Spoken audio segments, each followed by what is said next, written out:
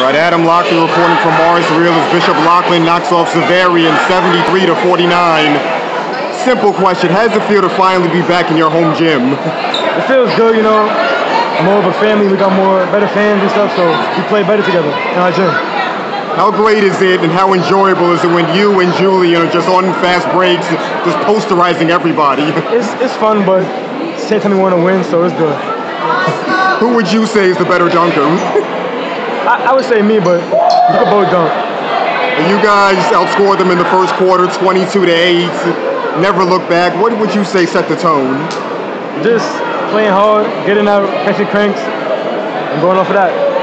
You have one final game this season against Holy Cross. Yeah. What's it going to take to finish the season strong? Uh, to play hard, pass the ball, and get out in transition. All right, thank you very much, Justin.